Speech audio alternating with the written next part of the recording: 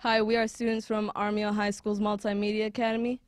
Thanks for watching the Solano Sports Network.